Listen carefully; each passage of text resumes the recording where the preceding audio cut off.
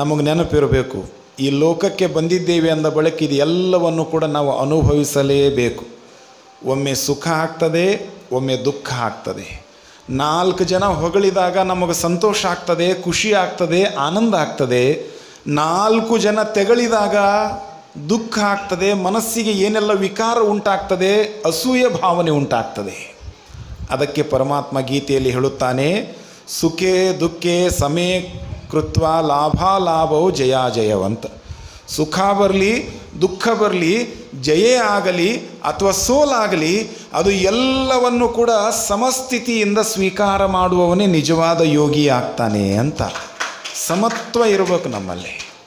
ಯಾರನ್ನು ಬಿಡ್ತಾರೆ ಹೇಳ್ರಿ ನೀವು. ಯಾರನ್ನು ಬಿಡ್ತಾರ? ನಿಮ್ಮನ್ನು ಬಿಡ್ತಾರ? ಬಿಡೋದಿಲ್ಲ ಇನ್ನು ಹಾಡೋರನ್ನ ಬಿಡ್ತಾರ? ಬಿಡೋದಿಲ್ಲ ಇನ್ನು ನನ್ನ ಬಿಡ್ತಾರ? ನನ್ನೂ ಬಿಡೋದಿಲ್ಲ ಗಡಿಗೆ ಬಾಯಿ ಮುಚ್ಚಬಹುದಂತೆ ಮಂದಿ ಬಾಯಿ ಮುಚ್ಚಕ್ಕಾಗೋದಿಲ್ಲ ಇವು ನನ್ನ ತಗೊಳ್ರಿ ನೀವು. ಇನ್ನು ಊರಾಗ ನಾವು ಪ್ರವಚನ ಮಾಡಿ ನಮ್ಮಷ್ಟಕ್ಕೆ ನಾವು ಬೆಳಿಗ್ಗೆ ನೀವು ಟಿಫಿನ್ ಕರೆದ ತಕ್ಷಣ ನಮ್ಮ ಸುರೇಶ್ ದೇಸಾಯಿ ಅವರು ಪ್ರತಿದಿನ ಉಪಹಾರ ಮಾಡಿಸ್ತಾರೆ. ಇರುವುದಕ್ಕಾಗಿ ಒಳ್ಳೆಯ ಮನೆಯನ್ನು ಕೊಟ್ಟಿದ್ದಾರೆ. ಎ ಸಿನ ನೋಡಿದ್ದಿಲ್ರಿ ನಾ ಇಲ್ಲಿಗೆ ಬಂದಿದ್ದು ನೋಡಿನ ನಮ್ಮ ಕಡೆಗೆ ಫ್ಯಾನ್ ಹಾಕ್ಕೊಳ್ಳೋದಿಲ್ಲ ನಾವು. ನಮ್ಮ ಕಡೆಗೆ ಚಳಿ ಆಗುತ್ತೆ. ಉಪಹಾರಕ್ಕಂತ ತಿಳ್ಕೊಂಡು ಬೆಳಿಗ್ಗೆ ಏನಾದರೂ ಹೊರಟಿವಪ್ಪ ಅಂತಂದರೆ ನೋಡಿದ್ರೆ ನಾಲ್ಕು ಮಂದಿ. ನೋಡಿದ್ರು ಕಟ್ಟೆ ಮೇಲೆ ಕೂತವರು. ಏನು ಈ ವರ್ಷ ಭಾಳ ವ್ಯತ್ಯಾಸ ಆಗ್ಯಾನ ಶಾಸ್ತ್ರಿ. ಏನು ಮಾತಾಡಿಸೋಲ್ಲ ಎಷ್ಟು ಗಂಭೀರ ಆಗ್ಯಾನೋ? ಎಂತೆಂಥವ್ರೆಲ್ಲ ನಮ್ಮನ್ನು ಮಾತಾಡಿಸ್ತಿದ್ರು? ಇನ್ನು ಮಾತಾಡಿಸ್ತಾ ಹೋದ್ವೆ. ಎದಕ್ಕೆ ಬೇಕ್ರಿ ಪುರಾಣ ಹೇಳೋರಿಗೆ? ಮಠ ಬಿಟ್ಟ ತಕ್ಷಣ ನೇರವಾಗಿ ಯಾರ ಮನೆಯೊಳಗೆ ಪ್ರಸಾದ ಇರ್ತದೆ? ಅವ್ರ ಮನೆಯೊಳಗೆ ತಲೆ ಎತ್ತಬೇಕು ಪ್ರಸಾದ ಮಾಡಬೇಕು ಸುಮ್ಮ ಬರಬೇಕು.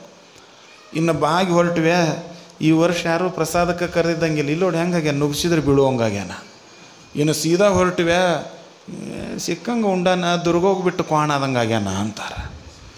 ಹೇಗಿದ್ರು ಅಂತಾರ, ತೆಳ್ಳಗಿದ್ರು ಅಂತಾರ, ಬೆಳ್ಳಗಿದ್ರು ಅಂತಾರ, ದಪ್ಪಿದ್ರು ಅಂತಾರ, ಮತ್ತು ನೀವು ಕುಳ್ಳಗಿದ್ರು ಅಂತಾರ ಹೇಗಿದ್ರು ಅಂತಾರೆ. ನೀವು ಜನರ ಕಡೆಗೆ ಗಮನವನ್ನು ಕೊಟ್ಟರೆ ಬದುಕುವುದು ಭಾಳ ಕಷ್ಟ ಆಗ್ತದೆ. ಈಗ ನಿಮ್ಮ ನಿಮ್ಮ ಮನ್ಯಾಗ, ನಿಮ್ಮ ಓಣ್ಯಾಗ ನೋಡ್ಕೋರಿ ನೀವು. ನೋಡ್ಕೋರಿ, ನಿಮ್ಮೊಂದು ಬಂದು ಒಂದು ಹೇಳ್ತಾರೆ ಅತಿ ಬಗ್ಗೆ. ಇನ್ನು ಸೊಸಿ ಬಗ್ಗೆ ಒಂದು ಹೇಳ್ತಾರೆ, ಹೇಳೋರು ಹೇಳೋಲ್ರಕ್ಕ ನಿಮಗೆ ನೆನಪಿರ್ಬೇಕು, ಇವ್ರು ಯಾವಾಗಲೂ ಹೀಗಾದಾರ ನಾವು ಮಾತ್ರ ಅವ್ರ ಮಾತು ಕೇಳಿ ನಮ್ಮ ಮನಸ್ಥಿತಿಯನ್ನು ಬದಲಾವಣೆ ಮಾಡ್ಕೋಬಾರ್ದು, ನಮ್ಮ ಲಕ್ಷ್ಯ ನಮ್ಮ ಗಮನ ಏನಿದ್ರೂ ಕೂಡ ಪರಮಾತ್ಮನ ಕಡೆಗಿರ್ಬೇಕು ಯಾವಾಗಲೂ. ಭಗವಂತನ ಕಡೆ. ನೀವೇನಾದರೂ ಬಾಯಿ ಬಿಟ್ರಿ, ಅವ್ರ ಜೊತೆಗೆ ಸೇರಿದ್ರಿ, ನಿಮ್ಮನ್ನು ಕರ್ಕೊಂಡು ಹೋಗ್ತಾರೆ. ದುರಿತದಳು ಅಧಿಕ ಆವುದು ನಿಂದೆ ಅಂತಾರೆ. ಅದಕ್ಕೆ ನಿಂದೆ ಮಾಡಬಾರ್ದು, ನಿಂದೆಯ ಮಾತುಗಳನ್ನು ಕೇಳಬಾರ್ದು. ಮಹಾದೇವಿ ಅಕ್ಕನವರು ಸಮಾಧಾನ ಮಾಡಿಕೊಳ್ತಾರೆ, ಲೋಕದಿ ಹುಟ್ಟಿದ ಬಳಿಕ ಸ್ತುತಿ ನಿಂದೆಗಳು ಬಂದರೆ ಕೋಪವ ತಾಳದೆ ಸಮಾಧಾನಿಯಾಗಿರು ಅಂದ್ರೆ ಅವರು. ಸಮಾಧಾನಿಯಾಗಿರು. ಇದು ಒಂದು ಮಾತು ತಿಳ್ಕೊಂಡ್ರೆ ಸಾಕಲ್ಲ. ದೇವರಲ್ಲಿ ಅವರು ಏನು ಕೇಳ್ಕೊಂಡ್ರು, ನಾನು ನೀವು ಎಲ್ಲರೂ ಹೋಗಿ ಭಕ್ತಿಯಿಂದ ಬೇಡ್ಕೊಳ್ತೇವೆ ದೇವರ ಸನ್ನಿಧಾನದಲ್ಲಿ. ನನ್ನ ಮಗ ಚೆನ್ನಾಗಿರಬೇಕು, ನನ್ನ ಮಡದಿ ಚೆನ್ನಾಗಿರಬೇಕು, ನಮ್ಮ ಮನೆಯವರು ಚೆನ್ನಾಗಿರಬೇಕು, ನಾವೆಲ್ಲ ಚೆನ್ನಾಗಿರಬೇಕು ತಾಯಿ ಅಂತ ದುರ್ಗಾ ಪರಮೇಶ್ವರಿಯ ಸನ್ನಿಧಾನದಲ್ಲಿ ನಾವು ಬೇಡ್ಕೊಳ್ತೇವೆ. ಒಂದು ಮನೆಗೆ ಹೋಗಿ ಮಹಾದೇವಿ ಅಕ್ಕನವರು ಭಿಕ್ಷೆಯನ್ನು ಬೇಡ್ತಾ ಇದ್ದಾರೆ. ಆ ಮನೆಯ ಒಡತಿ ಬಂದು ಅನ್ನವನ್ನು ನೀಡುವಾಗ ಆ ಅನ್ನ ಜಾರಿ ಕೆಳಗಡೆ ಬಿತ್ತಂತೆ. ಆ ಅನ್ನ ಜಾರಿ ಕೆಳಗಡೆ ಬಿತ್ತು ಕೆಳಗಡೆ ಬಿದ್ದಿರುವಂಥ ಅನ್ನವನ್ನು ನೋಡಿ ಈಗ ಬಾಗಿ ತೆಗೆದುಕೊಳ್ಳಬೇಕು ಅನ್ನುವಷ್ಟರೊಳಗೊಂದು ನಾಯಿ ಬಂತಂತೆ. ಮಹಾದೇವಿ ಅಕ್ಕನವರು ಮಲ್ಲಯ್ಯನಲ್ಲಿ, ಚನ್ನಮಲ್ಲಿಕಾರ್ಜುನ ದೇವನಲ್ಲಿ ಪ್ರಾರ್ಥನೆಯನ್ನು ಮಾಡಿದ್ರಂತೆ. ದೇವರಲ್ಲಿ ಏನು ಕೇಳ್ಕೊಂಡ್ರು? ನಾನು ನೀವು ಎಲ್ಲರೂ ಕೇಳಿಕೊಳ್ಳೋದೇನಪ್ಪ ಅಂದ್ರೆ ನಾವು ಚೆನ್ನಾಗಿರಬೇಕು, ನಮಗೆ ಸುಖವನ್ನು ಕೊಡು, ಸಂತೋಷವನ್ನು ಕೊಡು, ಆರೋಗ್ಯವನ್ನು ಕೊಡು, ಆಯುಷ್ಯವನ್ನು ಕೊಡು, ನಾವು ಶತಾಯುಷ್ಯಗಳಾಗಬೇಕು ಅಂತ ಬೇಡಿಕೊಳ್ತೇವೆ. ನಮ್ಮ ಪೂಜಾ ಪ್ರಾರಂಭ ಆಗೋಕ್ಕಿಂತ ಮೊದಲು ಸಂಕಲ್ಪನ ಅದು ಇರ್ತೈತೆ ರೀ ಪೂಜೆ ಆಮೇಲೆ ಇರ್ತೈತಿ. ಹೌದಲ್ಲ ರೀ ಇವ್ರ ಹೆಸರ ಮೇಲೆ ಆಯುಷ್ ಕೀರ್ತಿ ವೃದ್ಧಿ ಆಗಲಿ ಅದು ವೃದ್ಧಿ ಆಗಲಿ ಇದು ವೃದ್ಧಿ ಆಗಲಿ. ಮೊದಲ ಬೇಡ್ಕೊಂಬಿಡ್ತೀವಿ ನಾವು. ಮಹಾದೇವಿ ಅಕ್ಕನವರು ಚನ್ನಮಲ್ಲಿಕಾರ್ಜುನ ದೇವನಲ್ಲಿ ಪ್ರಾರ್ಥನೆಯನ್ನು ಮಾಡಿದರಂತೆ ಮನೆ ಮನೆ ತಪ್ಪದೆ ಕೈಯೊಡ್ಡಿ ಬೇಡುವಂತೆ ಮಾಡಯ್ಯ. ಬೇಡಿದೊಡೆ ನೀಡುವಂತೆ ಮಾಡಯ್ಯ. ನೀಡಿದೊಡೆ ನನ್ನ ಕರದಲ್ಲಿ ಬೀಳುವ ಪೂರ್ವದಲ್ಲಿ ಅದು ಕೆಳಗಡೆ ಬೀಳುವಂತೆ ಮಾಡಯ್ಯ. ಕೆಳಗಡೆ ಬಿದ್ದಾಗ ನಾನು ಬಾಗಿ ತೆಗೆದುಕೊಳ್ಳುವಂತೆ ಮಾಡಯ್ಯ. ನಾನು ತೆಗೆದುಕೊಳ್ಳುವ ಪೂರ್ವದಲ್ಲಿ ಶುನಿ ಬಂದು ಅದನ್ನು ತಿನ್ನುವಂತೆ ಮಾಡಯ್ಯ, ಚನ್ನಮಲ್ಲಿಕಾರ್ಜುನ ದೇವ ಅಂದ್ರೆ ಅವರು ನಾವು ಸುಖ ಕೇಳಿ ಕಷ್ಟಕ್ಕೊಳಗಾಗಕತ್ತೀವಿ.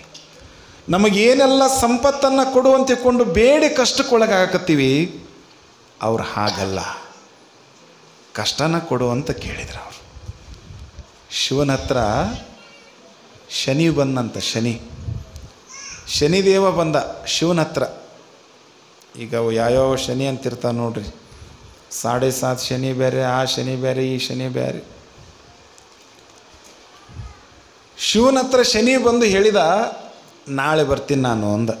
ಶಿವ ಪಾರ್ವತಿ ಗಣಪತಿ ಷಣ್ಮುಖ ತನ್ನ ಸಂಸಾರದ ಜೊತೆಗೆ ಆನಂದವಾಗಿ ಕೂತ್ಕೊಂಡಿದ್ದ ನಗನಗುತ್ತ. ಒಂದು ದಿನ ಮೊದಲೇ ಬಂದು ಶಿವನಿಗೆ ಶನಿ ಹೇಳಿದ ನಾಳೆ ಬರ್ತೀನಿ ಅಂದ. ಯಾವಾಗ ಬಂದು ಹೇಳಿ ಹೋದ? ಶಿವ ಹೇಳಿದ ಪಾರ್ವತಿಗೆ, ನೀನು ನಿನ್ನ ತವ್ರ ಮನೆಗೆ ಹೋಗು. ಗಣಪತಿಗೆ ಹೇಳಿದ, ನೀನು ಆರಾಮಾಗಿ ಹೋಗು.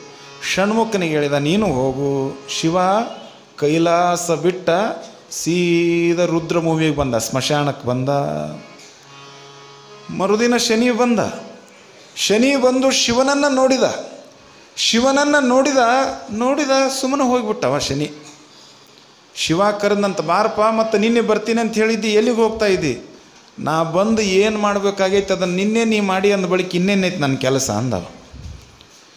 ನಾ ಬಂದು ನಿನ್ನ ಮಡದಿಯನ್ನು ನಿನ್ನಿಂದ ಬೇರೆ ಮಾಡಬೇಕು ಅಂತ ಅಂದ್ಕೊಂಡಿದ್ದೆ ನಿನ್ನ ಮಕ್ಕಳನ್ನು ನಿನ್ನಿಂದ ಬೇರೆ ಮಾಡ್ಕೋಬೇಕು ಅಂತ ಅಂದ್ಕೊಂಡಿದ್ದೆ ನಾ ಹೇಳುವ ಪೂರ್ವದಲ್ಲಿಯೇ ನೀನಾಗೆ ಎಲ್ಲರನ್ನು ಬೇರೆ ಮಾಡಿ ಬಂದು ಸ್ಮಶಾನದೊಳಗೆ ಕೂತಿ ಅಂದ ಬಳಿಕ ಇನ್ನು ನನ್ನ ಕೆಲಸ ಏನೂ ಇಲ್ಲ ಅಂದ ನೋಡ್ರಿ, ಸುಖ ಬೇಕು ಸುಖ ಬೇಕು ಅಂತ ಬೆನ್ನು ಹತ್ಕೊಂಡು ಹೋಗಿ ದುಃಖ ನಾವು ಕಂಡ್ಕೊಳಕತ್ತೀವಿ. ದೇವರು ಏನು ಕೊಡ್ತಾನೆ ಅದನ್ನು ಯಥಾ ರೀತಿಯಾಗಿ ಸ್ವೀಕಾರ ಮಾಡೋದು. ಮಹಾದೇವಿ ಅಕ್ಕನವರು ಹೋಗುವಾಗ ಎಷ್ಟು ಕಷ್ಟಗಳನ್ನು ಸಹಿಸ್ಕೊಳ್ಬೇಕಾತ ಆ ತಾಯಿ? ಆಗಿನ ಕಾಲದಲ್ಲಿ ಜೊತೆಗೆ ಯಾರೂ ಇಲ್ಲ. ದಾರಿ ಯುದ್ಧಕ್ಕೂ ನೂರಾರು ಜನರ ತೊಂದರೆಗಳನ್ನು ಸ್ವೀಕಾರ ಮಾಡ್ತಾ, ಕಷ್ಟಗಳನ್ನ ಸ್ವೀಕಾರ ಮಾಡ್ತಾ ಹಸನ್ಮುಖನೇ ಮುಖತೆಯಿಂದ ಸ್ವೀಕಾರ ಮಾಡ್ತಾ, ಇದು ನನಗೆ ನೋವಾಯಿತು, ಇದು ನನಗೆ ದುಃಖವಾಯಿತು, ಇದು ನನಗೇನೆಲ್ಲ ಮನಸ್ಸಿಗೆ ಆಘಾಯಿತು ಅಂತ, ಆಘಾತ ಆಯಿತು ಅನ್ನಲಿಲ್ಲ ದೇವರನ್ನು ನೋಡುವಂಥ ಹಂಬಲ ಎಷ್ಟು ಉಂಟಾಗಿತ್ತು ಅಂದರೆ ಹಸಿವೆ ಆದಾಗ ಆ ತಾಯಿ ಅನ್ಲಂತೆ, ಚೆನ್ನ ಮಲ್ಲಿಕಾರ್ಜುನ ದೇವನಲ್ಲಿ ಬೇಡಿಕೊಂಡ್ಲಂತೆ, ಹಸಿವೆಯೊಳಗೆ ಬಹಳ ಥರದ ಹಸಿವೆಗಳದಾವ. ಅಧಿಕಾರದ ಹಸಿವೆ ಐತಿ, ಹೊಗಳಿಕೆಯ ಹಸಿವೆ ಐತಿ, ಸಂಪತ್ತನ್ನು ಸಂಪಾದನೆ ಮಾಡಿಕೊಳ್ಳುವಂಥ ಹಸಿವೆ ಅದ ಏನೆಲ್ಲ ಹಸಿವೆಗಳದಾವ, ಆ ಹಸಿವೆಗಳಿಗೆ ಒಳಗಾಗಿ ನಮ್ಮ ಜೀವನವನ್ನು ನಾವು ಹಾಳು ಮಾಡ್ಕೊಳಕತ್ತೀವಿ. ಅದಕ್ಕೆ ಡಿ ವಿ ಜಿ ಅವರು ಹೇಳ್ತಾರೆ ಬೆದಕಾಟ, ಬದುಕೆಲ್ಲ ಚಣಚಣವು ಹೊಸ ಹಸಿವು ಅದಕ್ಕಾಗಿ, ಇದಕ್ಕಾಗಿ, ಮತ್ತೊಂದಕ್ಕಾಗಿ. ಅಧಿಕಾರ ಸಿರಿಸಗೊಸು ಕೀರ್ತಿಗಳ ನೆನೆದು ಮನ ಕುದಿಯುತ್ತಿವುದಾವಗು ಮಂಕುತಿಮ್ಮ ಅಂದ್ರ. ಏನು ಅದು ಬೇಕು, ಇದು ಬೇಕು, ಇಂಥದ್ದು ಬೇಕು, ಅಂಥದ್ದು ಬೇಕು, ಎಷ್ಟು ಬಯಸಾಕತ್ತೀವಿ ನಾವು ನೀವೆಲ್ಲ? ಬೇಕನ್ನೋದು ಸಾಕಾದಾಗನ ನಾವು ನಿಜವಾಗಲೂ ಕೂಡ ಪರಮಾತ್ಮನ ಸಾನ್ನಿಧ್ಯ ಸೇರಕ್ಕೆ ಸಾಧ್ಯ. ಅದಕ್ಕೆ ಕೆ ಸಿ ಶಿವಪ್ಪನವ್ರು ಹೇಳ್ತಾರೆ, ಬೇಕೆಂದರದೇನೋ ನೋವು ಸಾಕೆಂದರದೆ ನಲಿವು ಆಸೆಗೆಲ್ಲಿದೆ ಬೇಲಿ ಈ ಲೋಕದಲ್ಲಿ?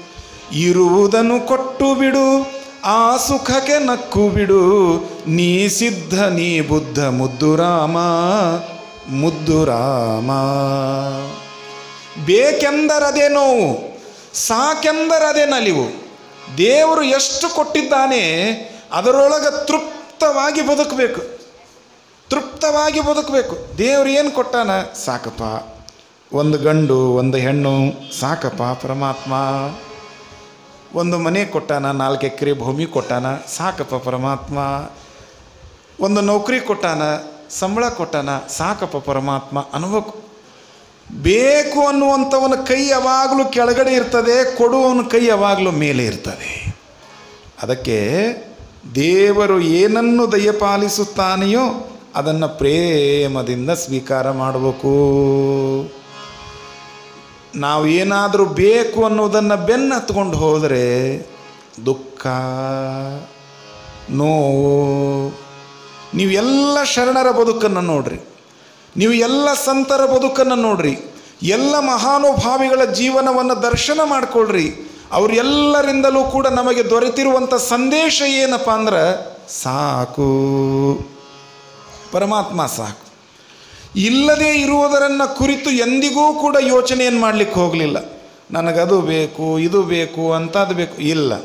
ದೇವರು ಏನು ಕೊಟ್ಟಿದ್ದಾನೆ, ಅದನ್ನು ಸ್ವೀಕಾರ ಮಾಡಿದ್ದಾರೆ, ಆನಂದವಾಗಿ ಬದುಕಿದ್ದಾರೆ. ಸಾಕಪ್ಪ, ಸಾಕು ಸಾಕು ಸಾಕು. ನಮ್ದು ಹಂಗಲ್ಲ. ನಾಲ್ಕು ಎಕರೆ ಆದಮೇಲೆ ಅದರ ಪಕ್ಕಕ್ಕಿರುವಂಥ ಅದು ನಾಲ್ಕು ಎಕರೆ ನನಗೆ ಬೇಕು. ಆ ಮನೆ ಪಕ್ಕದಲ್ಲಿರುವಂಥ ಜಾಗ ಅದು ನನಗೆ ಬೇಕು ಆ ಕಡೆ ಇರೋದು ನನಗೆ ಬೇಕು ಎಷ್ಟು ನಾವು ಬೆನ್ನು ಹತ್ಕೊಂಡು ಹೋಗಾಕತ್ತೀವಿ. ಸಾಕಪ್ಪ ಪರಮಾತ್ಮ, ನಾವು ಬದುಕಿರೋದು ಎಷ್ಟು ದಿನಾನೋ ಏನೋ ಯಾರಿಗೂ ಗೊತ್ತಿಲ್ಲ. ಯಾರಿಗೂ ಗೊತ್ತಿಲ್ಲ. ಆದರೆ ಇರುವಷ್ಟು ದಿನ ಮಾತ್ರ ನಾಲ್ಕು ಜನರಿಗೆ ಬೇಕಾಗುವಂಥ ಬದುಕು ನಮ್ಮದಾಗಬೇಕು. ಅದನ್ನೇ ಬಸವಣ್ಣನವರು ತಮ್ಮ ವಚನದಲ್ಲಿ ಹೇಳುತ್ತಾರೆ. ಬಸವಣ್ಣನವರು ಏನು ಹೇಳಿದರು? ಲೇಸೆನಿಸಿಕೊಂಡು ಐದು ದಿನ ಬದುಕಿದರೇನು? ಲೇಸೆನಿಸಿಕೊಂಡು ನಾಲ್ಕು ದಿನ ಬದುಕಿದರೇನು? ಲೇಸೆನಿಸಿಕೊಂಡು ಮೂರು ದಿನ ಬದುಕಿದರೇನು? ಲೇಸೆನಿಸಿಕೊಂಡು ಎರಡು ದಿನ ಬದುಕಿದರೇನು? ಜೀವಿತಂ ಶಿವಭಕ್ತಾನಾಂ ವರಂ ಪಂಚದಿನಾನೀಚ ಅಜಕಲ್ಪ ಸಹಸ್ಯಭ್ಯೋ ಶಂಕರಿ ಎಂಬುದಾಗಿ ಕೂಡಲ ಸಂಗನ ಶರಣರ ವಚನದಲ್ಲಿ ಲೇಸೆನಿಸಿಕೊಂಡು ಒಂದು ದಿನ ಬದುಕಿದರೆ ಸಾಕು. ಒಂದೇ ದಿನ ಬದುಕಲಿ. ನಾಲ್ಕು ಜನರಿಗೆ ಬೇಕಾಗಬೇಕು. ಇನ್ನೊಂದು ನಾಲ್ಕು ದಿನ ಅವ್ರು ಇರಬೇಕಾಗಿತ್ತು ರೀ ಇನ್ನೊಂದು ವರ್ಷ ಅವ್ರು ಇರಬೇಕಾಗಿತ್ತು ರೀ ಇನ್ನೊಂದು ಸ್ವಲ್ಪ ದಿನ ಅವ್ರು ಇರಬೇಕಾಗಿತ್ತು, ನಮ್ಮ ಸಮಾಜಕ್ಕೆ ಒಳ್ಳೆಯದಾಗ್ತಿತ್ತು ಅನ್ನಬೇಕು ಜನ. ಅದಕ್ಕೆ ನಮ್ಮ ಜನಪದದ ಗರತಿ, ಎಷ್ಟು ಸೊಗಸಾಗಿ ಬದುಕಿನ ಸ್ವಾರಸ್ಯವನ್ನು ಹೇಳ್ತಾಳಂದರೆ ಬಹಳ ಸೊಗಸಾಗಿ ಹೇಳ್ತಾರೆ. ನಾವು ಅದನ್ನು ತಿಳ್ಕೊಂಡ್ರೆ ಸಾಕಾಗಿದೆ. ಎರಡ ಸಾಲಿನೊಳಗೆ ನಮ್ಮ ಜೀವನದ ಸ್ವಾರಸ್ಯವನ್ನು, ನಮ್ಮ ಜೀವನದ ಸೌಂದರ್ಯ ಹೇಗಾಗಬೇಕು ಅನ್ನೋದನ್ನು ಹೇಳ್ತಾಳೆ ಆ ತಾಯಿ. ಏನು ಹೇಳ್ತಾಳೆ? ಮಂದಿಯ ಒಳಗ ಚಂದಾಗಿರಬೇಕ, ನಂದಿಯ ಶಿವನ ದಯದಿಂದ ನಂದಿಯ ಶಿವನ ದಯದಿಂದ ಹೋಗುವಾಗ ಮಂದಿಯ ಬಾಯಾಗ ಇರಬೇಕ. ಮಂದಿಯ ಬಾಯಾಗ ಇರಬೇಕ. ಜನಪದ ಗರತಿ ಹೇಳ್ತಾಳೆ, ಮಂದಿಯ ಒಳಗ ಚಂದಾಗಿ ಇರಬೇಕ ನಂದಿಯ ಶಿವನ ದಯದಿಂದ. ನಂದಿಯ ಶಿವನ ದಯದಿಂದ ಹೋಗುವಾಗ ಮಂದಿಯ ಬಾಯಾಗ ಇರಬೇಕ ಅಂತ. ನೀವು ವಿಚಾರ ಮಾಡ್ರಿ. ಎಷ್ಟು ಜನ ಬಾಯಾಗದಿರಿ? ನಾವು ಭಾಳ ಜನ ಬಾಯಾಗಿಲ್ಲ, ಹಲ್ಲಾಗದೀವಿ. ಅವ್ರು ಹೆಂಗೆ ರೀ ಆಕೆ ಸುದ್ದಿ ತೆಗಿಬಾರ್ದು, ನನ್ನ ಮುಂದೆ ಹಲ್ಲಾಗದೆ ನೋಡ್ರಿ. ನಾವು ಹೃದಯದೊಳಗಿಲ್ಲ, ಮನಸ್ಸಿನೊಳಗಿಲ್ಲ, ಹಲ್ಲಾಗದೀವಿ. ಹಾಂ. ನಾಲ್ಕು ಜನರಿಗೆ ಬೇಕಾಗಬೇಕು. ಏನ್ರಿ ಪದೇ ಪದೇ ನಾಲ್ಕು ಜನ ಅಂತೀರಿ? ಹೊತ್ಕೊಂಡು ಹೋಗೋಕ್ಕಾದ್ರೂ ಬೇಕಲ್ಲ ನಾಲ್ಕು ಜನ? ಜನಪದ ತಾಯಿಯೊಬ್ಬರು ಹೇಳಿದ್ರಂತ, ಮನುಷ್ಯನ ಆಯುಷ್ಯ ಎಷ್ಟು ವರ್ಷ ರೀ? ನೂರು ವರ್ಷ. ಹೌದಲ್ರಿ? ರೀ ಹುಡುಗ ಶಾಣೆ ಅದಾನೆ, ಎಪ್ಪತ್ತು ವರ್ಷ. ಗೊತ್ತಾಗೈತೆ ಅವಂಗೆ. ಅರವತ್ತಕ್ಕೆ ಈಗ ಶತಮಾನೋತ್ಸವ ಅಂತ ಆಚರಿಸ್ರಿ ಅನ್ನೋದು ಗೊತ್ತಾಗಿತ್ತು ಇಷ್ಟು ಹುಡುಗರು ಸ್ಪೀಡ್ ಅದಾರ ನೋಡ್ರಿ ಅವ್ರು. ಹಾಂ, ನೋಡ್ರಿ. ಮನುಷ್ಯನ ಆಯುಷ್ಯ ಒಂದು ನೂರು ವರ್ಷ ಅಂತ ಇದೆ ಇದೆ. ಪರಮಾತ್ಮ ಹಣೆ ಮೇಲೆ ಬರೆದಿದ್ದಾನೆ ಹಂಡ್ರೆಡ್ ಇಯರ್ಸ್ ಅಂತ ಬರೆದಿದ್ದಾನೆ. ಆದರೆ ಬೆನ್ನಿನ ಮೇಲೆ ಬರೆದಿದ್ದಾನೆ ನೋ ಗ್ಯಾರಂಟಿ ನೋ ವಾರಂಟಿ ಅಂತ. ಇದಕ್ಕೆ ಗ್ಯಾರಂಟಿನೂ ಇಲ್ಲ ವಾರಂಟಿನೂ ಇಲ್ಲ. ಎಲ್ಲದಕ್ಕೂ ಗ್ಯಾರಂಟಿ ವಾರಂಟಿ ಇದೆ. ವ್ಯಾಧನೊಂದು ಮೊಲನ ತಂದರೆ ಸಲುವ ಹಾಗಕ್ಕೆ ಬೆಲೆಗೈವರಯ್ಯ ನೆಲನಾಳುವವನ ಹೆಣನೆಂದರೆ ಒಂದಡಿಕೆಗೆ ಕೊಂಬುವರಿಲ್ಲ, ಮೊಲಕ್ಕಿಂತ ಕರಕಷ್ಟ ನರನ ಬಾಳುವೆ ಸಲೆ ನಂಬೋ ನಮ್ಮ ಕೂಡಲ ಸಂಗಮ ದೇವನ ಅಂದ್ರೆ. ನೂರು ವರ್ಷ ನೋಡ್ರಿ, ನೂರು ವರ್ಷ. ನಮ್ಮ ಹಿರಿಯರು ಏನು ಹೇಳಿದರು ನೂರು ವರ್ಷ? ನಾವು ಹೇಗೆ ಕಳೀತಾ ಇದ್ದೇವೆ ಒಂದು ನೂರು ವರ್ಷವನ್ನು? ಹತ್ತಕ್ಕೆ ಹಕ್ಕಿ. ಇಪ್ಪತ್ತಕ್ಕೆ ನಕ್ಕಿ, ಮೂವತ್ತಕ್ಕೆ ಮೂರ್ಖ, ನಲವತ್ತಕ್ಕೆ ಗರ್ವ, ಐವತ್ತಕ್ಕೆ ಅರಿವು, ಅರುವತ್ತಕ್ಕೆ ಮರೆವು, ಎಪ್ಪತ್ತಕ್ಕೆ ಕಾಗಿ, ಎಂಬತ್ತಕ್ಕೆ ಬಾಗಿ, ತೊಂಬತ್ತಕ್ಕೆ ಗೂಗಿ, ನೂರಕ್ಕೆ ಹೊತ್ತುಕೊಂಡು ಹೋಗಿ ಅಂತ, ಯಾವ ಕಡೆ ಅಂತ ನನ್ನ ಕೇಳಬೇಡಿ. ಹಾಂ. ಹತ್ತಕ್ಕೆ ಹಕ್ಕಿ, ಹತ್ತು ವರ್ಷದ ಒಳಗಿನ ಮಕ್ಕಳು ಇಲ್ಲಿ ಅದಾರ. ಮಳಿನ ಆಗಿಲ್ಲಲ್ರಿ ಡ್ಯಾಮ್ನಾಗಿದ್ದ ನೀರು ಖಾಲಿ ಆಗಕತ್ತಾವಂತ ವಿಚಾರ ಐತೇನು ಅವ್ರಿಗೇನು? ಬೇಸಿಗೆ ಒಳಗೆ ಮುಂದೆ ನೀರಿನ ಸ ಹೆಂಗೆ ರೀ ವಿಚಾರ ಐತೇನು ಅವ್ರಿಗೆ? ಏನಿಲ್ಲ. ಅವ್ರು ಬರೋದು ಇದಕ್ಕೆ ಒಂದು ಹೂವು ಕೊಡಕ್ಕೆ ನಮಗೆ ಮತ್ತು? ಅದು ಮತ್ತು ನಿಮ್ಮ ತಲೆಯಾಗಿರಲಿ. ಹೂವು. ಪಾಪ ಇಲ್ಲೆಲ್ಲ ಬಂದಿರುವಂಥ ಮಹಾತ್ಮರಿಗೆ, ಅತಿಥಿಗಳಿಗೆ ಹೂವು. ಹತ್ತು ವರ್ಷದ ಒಳಗಿನ ಮಕ್ಕಳು ಇಲ್ಲೆಲ್ಲ ಅದ ಆನಂದಾಗಿ ಕೂತಾರೆ. ಎಂಟು ಎಂಟೂವರೆ ಒಂಬತ್ತು ಗಂಟೆ ಆಗೋದ್ರೊಳಗಾಗಿ ಆನಂದವಾಗಿ ಎಲ್ಲಿ ಕೂತಿರ್ತಾರೆ, ಅಲ್ಲೇ ಮಲ್ಕೊತಾರ. ಅವರಿಗೆ ಗುಡ್ ನೈಟ ಬೇಕಂತೇನಿಲ್ಲ. ಅವರಿಗೆ ಫ್ಯಾನ್ ಬೇಕು ಎ ಸಿ ಬೇಕಂತೇನಿಲ್ಲ. ಚಲೋ ಗಾದಿ ಇರಬೇಕಂತೇನಿಲ್ಲ. ನಿದ್ದೆ ಯಾವಾಗ ಬಂತೋ ಅಲ್ಲೇ ಅದೇ ಸ್ಥಳದೊಳಗೆ ಮಲ್ಕೊಂಡ್ರು ಹಕ್ಕಿ. ಇಪ್ಪತ್ತಕ್ಕೆ ನಕ್ಕಿ. After thirteen years teen age ಅಂತ ತಿಳ್ಕೊಂಡು ಏನು ಬರ್ತದೆ? That is very dangerous age ಅದು. ಅವ್ರು ನೋಡಿ ಇವ್ರು ನಕ್ಕು, ಇವ್ರು ನೋಡಿ ಅವ್ರು ನಕ್ಕು, ಜೀವನ ಅನ್ನೋದು ಹದಗೆಟ್ಟು ಹೈದರಾಬಾದ್ ಆಗಿ ಹೋಗುತ್ತೆ. ನಕ್ಕಿ. ಮೂವತ್ತಕ್ಕೆ ಮೂರ್ಖ. ಏನೋ ಒಂದು ಪದವಿ ಸಂಪಾದನೆ ಮಾಡಿರ್ತಾನೆ, ಎಲ್ಲೋ ಒಂದು ಯೂನಿವರ್ಸಿಟಿಗೆ ಹೋಗಿ ಸಂಪಾದನೆ ಮಾಡಿರ್ತಾನೆ. ಮನೆಯೊಳಗಿರುವಂಥ ತಂದೆಗೆ ಹೇಳಿದ, ಅಪ್ಪ, ಅದೆಲ್ಲ ಹಾಗಲ್ಲದು. ಹೀಗೆ ಮಾಡ್ಬೇಕದು. ತಮ್ಮ, ನಿನ್ನ ಓದು ಸಾಲಿಯೊಳಗೆ. ನನ್ನ ಅನುಭವದ ಮುಂದೆ ನಿಂದು ಏನೂ ನಡೆಯಂಗಿಲ್ಲ ಸುಮ್ಮಿರು ಅಂದ. ಮೂರ್ಖ. ನಲವತ್ತಕ್ಕೆ ಗರ್ವ. ಶ್. ನಲವತ್ತಕ್ಕೆ ಗರ್ವ. ನಲವತ್ತು ವರ್ಷ ಆಗಿ, ಆಗಿದೆ ಅಂದರೆ ಏನೆಲ್ಲ ಸಂಪಾದನೆ ಮಾಡಿರ್ತಾನೆ? ಏನೆಲ್ಲ ಸಿಕ್ಕಾಪಟ್ಟೆ ಸಂಪಾದನೆ ಮಾಡಿರುವಂಥ ತಂದೆಗಂದ ನಿನ್ನ ಜೀವನದಾಗ ಎಪ್ಪತ್ತು ವರ್ಷ ಆದ್ರೆ ನೀ ಏನು ಮಾಡಿದಿ? ನೋಡು, ನಾನು ಮೂವತ್ತು ನಲ್ವತ್ತು ವರ್ಷಕ್ಕೆ ಎಷ್ಟು ದೊಡ್ಡ ಬಿಲ್ಡಿಂಗ್ ಕಟ್ಟೀನಿ ಎಂಥ ಕಾರ್ ತೊಗೊಂಡೀನಿ? ಯಜಮಾನಂದ ನಿಜಪ್ಪ ನಿನ್ನಷ್ಟು ನಾ ಸಂಪಾದನೆ ಮಾಡಿಲ್ಲ ಅಂದ. ನಲವತ್ತಕ್ಕೆ ಗರ್ವ. ಐವತ್ತಕ್ಕೆ ಅರಿವು. ಯಾವಾಗ ಇವನಿಗೆ ಐವತ್ತು ವರ್ಷ ಆತೋ, ಇವ ಇವ್ರ ತಂದೆಗೆ ಮಾತಾಡಿದ್ದ, ಇವನ ಮಕ್ಕಳು ಇವ ಐವತ್ತು ವರ್ಷಕ್ಕೆ ಸಂಪಾದನೆ ಮಾಡಿರೋದನ್ನು ಅವರು ಇಪ್ಪತ್ತೈದು ವರ್ಷಕ್ಕೆ ಸಂಪಾದನೆ ಮಾಡಿದ್ರು ನೀವು ಬರೀ ಶಹಾಪುರದಾಗ ನೀ ಮನೆ ಕಟ್ಟಿದಿ, ನಾನು ಬೆಂಗಳೂರಾಗ ದೆಹಲಿಯಾಗ ಮನೆ ಕಟ್ಟಿನಿ ನೋಡ್ಬಾ ಅಂದ್ರೆ ಅವ್ರು. ಇವ ಅಂದ ಒನ್ಸ್ ಅಪಾನ್ ಎ ಟೈಮ್ ನಾನು ನಮ್ಮ ತಂದೆಗೆ ಎದುರು ಮಾತಾಡಿದ್ದೆ. ನೀನು ನನಗೆ ಎದುರು ಮಾತಾಡಿದ್ರೊಳಗೆ ಏನೂ ತಪ್ಪಿಲ್ಲ. ಅರಿವು, ಅರವತ್ತಕ್ಕೆ ಮರೆವು. ಅದಕ್ಕೆ ಸರ್ಕಾರದವ್ರು ಏನು ಮಾಡ್ತಾರೆ? ರಿಟೈರ್ಡ್ ಮಾಡಿ ಮನೆ ಕಳಿಸ್ತಾರೆ. ಹಿಂದಿನ ಪಾಠ ಮುಂದೆ ಮುಂದಿನ ಪಾಠ ಹಿಂದೆ ಹೇಳಿ ಗಿಳಿಯಪ್ಪ ಮಾರಾಯ. ಆಪ್ರೇಷನ್ ಮಾಡುವ ಕತ್ರಿ ಅಲ್ಲೇ ಹೊಟ್ಟೆಯಾಗಿ ಬಿಟ್ಗಿಟ್ಟಿ ಮಾರಾಯ. ಹೋಗು ಮರುವಾಗತ್ತೆ ನೋಡ್ರಿ. ಈಗ ಹೆಣ್ಮಕ್ಳಿಗೆ ಈ ಮರುವಾಗತ್ತೆ, ಆದ್ರೆ ಅವ್ರು ಅದನ್ನು ಒಪ್ಕೊಳ್ಳಂಗಿಲ್ಲ ಅರವತ್ತೈದು, ಎಪ್ಪತ್ತು ವರ್ಷ ಆಗಿರ್ತೈತಿ ಈ ಮುದುಕಿಯರಿಗೆ. ಇಲ್ಲೆಲ್ಲ ತುಂಬ ಒಳ್ಳೆಯವ್ರು ಇದ್ದೀರಮ್ಮ. ಇನ್ನೊಂದು ಎರಡು ದಿನ ಇರ್ಬೇಕು ನಾನು. ತುಂಬ ಒಳ್ಳೆಯವರು. ಈ ಅರವತ್ತು, ಎಪ್ಪತ್ತು ವರ್ಷ ಆಗಿರ್ತದ ಮನೆಯೊಳಗಿರುವಂಥ ಅಧಿಕಾರ, ಅದು ನನ್ನ ಕೈಯೊಳಗೆ ಇರಬೇಕಂತ. ಸಾಯೋ ತನಕ ಬಿಟ್ಕೊಡಂಗಿಲ್ಲ, ಕೆಲವು ಮಂದಿ ಅದನ್ನು. ಹ್ಞೂ ಬಿಟ್ಕೊಡಂಗಿಲ್ಲ. ಸತ್ತ ಮೇಲೇನ ಅದನ್ನು ತಗೋಬೇಕ್ರಿ ಅದನ್ನು. ನೋಡಿ, ಅರವತ್ತು ವರ್ಷ ಆಗಿರ್ತದ, ಸಾಕಿನ್ನು ಸಂಸಾರದ ಜವಾಬ್ದಾರಿ ನನಗೆ ಬೇಡ ಅಂತ ತಿಳ್ಕೊಂಡು ಅನ್ನೋಂಗಿಲ್ಲ. ಅದನ್ನು ತಮ್ಮ ಕೈಯಾಗ ಇಟ್ಕೊಂಡಿರ್ತಾರೆ. ಇನ್ನು ಎಪ್ಪತ್ತಕ್ಕೆ ಕಾಗಿ. ರಿಟೈರ್ಡ್ ಆಗಿ ಮನೆ ಕಟ್ಟೆ ಮೇಲೆ ಕುಂತಿರ್ತಾನ, ಮನೆಯಾಗಿದ್ದವ್ರು ಎಲ್ಲರಿಗೂ ಕೂಡ ಹೇಳ್ತಾನ,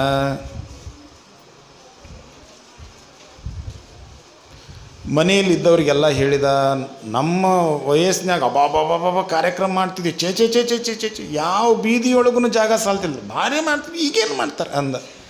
ತಂದೆ ಅಂದ, ನೀ ವಯಸ್ಸಿನಾಗ ಏನೇನು ಮಾಡಿ ಮಕ್ಕಳು ಅಂದ್ರು ತಂದೆಗೆ, ನೀ ವಯಸ್ಸಿನಾಗ ಏನೇನು ಮಾಡಿ ಎಲ್ಲರೂ ಊರಾಗ ಹೇಳ್ತಾರೆ, ಕಾಗಿ ಹಂಗೆ ಓದರ್ಬೇಡ ಸುಮ್ಮ ಬೀಳು. ಎಂಬತ್ತಕ್ಕೆ ಬಾಗಿ, ಎಂಬತ್ತು ವರ್ಷ ಆದಮೇಲೆ ಎರಡು ಕಾಲಿನ ಮನುಷ್ಯ, ಮೂರು ಕಾಲಿನ ಮನುಷ್ಯ ಅಕ್ಕನ ಬಾಗಿ, ತೊಂಬತ್ತಕ್ಕೆ ಗೂಗಿ.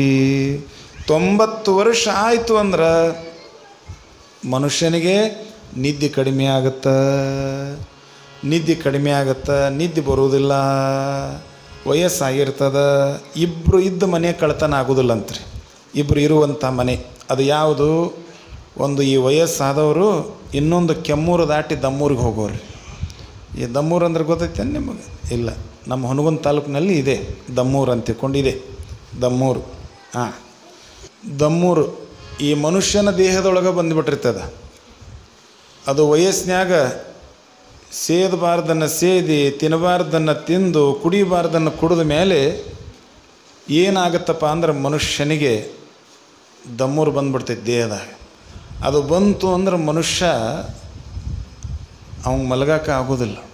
ಮತ್ತು ಅವ್ರ ಮನೆ ಕಳ್ತನ ಮಾಡೋಕೆ ಯಾರೂ ಬರೋಂಗಿಲ್ಲ. ಒಂದು ದಮ್ಮೂರು, ಇನ್ನೊಂದು ತೊಂಬತ್ತು ವರ್ಷ ಆದವರು. ಅದು ಬಂತು ಅಂದ್ರೆ ಮುಗೀತು. ನೀವು ನೋಡಿಲ್ಲ ದಮ್ಮೂರು? ಅದು ಬಂತಪ್ಪ ಅಂದ್ರೆ ಮುಗಿದ ಹೋತು.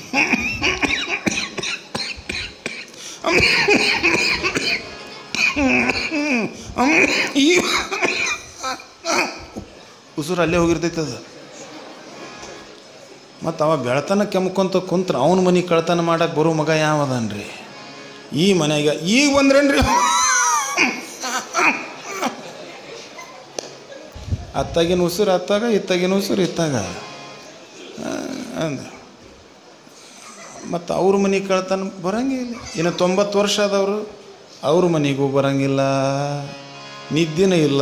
ತೊಂಬತ್ತು ವರ್ಷ ಆದ ಒಂದ ತಮ್ಮ ಇನ್ನೂ ಹಾಸಿಗೆ ಮಲ್ಕೊಂಡಿರಲ್ಲ. ಕೆಲಸಕ್ಕೆ ಹೋಗ್ರಪ್ಪ. ಮಕ್ಳು ನೋಡಿದ್ರು ಸಮಯ ಮೂರು ಗಂಟೆ ಆಗೈತೆ ಬೆಳಿಗ್ಗೆ. ಮಕ್ಕಳಂತಾರ ಗೂಗಿ ಹೇಳೋ ಟೈಮ್ನಾಗ ಯಾಕೆ ಎದ್ದು ನಮ್ಮನ್ನು ಕಾಡ್ತೀಯಪ್ಪ ಮಾರಯ್ಯ ಸುಮ್ಮನೆ ಮಲಗು. ತೊಂಬತ್ತಕ್ಕೆ ಗೂಗಿ ನೂರಕ್ಕೆ ಹೊತ್ಕೊಂಡು ಹೋಗಿ. ಇಂಥ ಜೀವನ ನಮ್ಮದು ಆಗಬಾರ್ದು. ಭಗವಂತ ಕೊಟ್ಟಿರುವಂಥ ಆಯುಷ್ಯ, ಭಗವಂತ ಕೊಟ್ಟಿರುವಂಥ ಮಾನವ ಜನ್ಮ.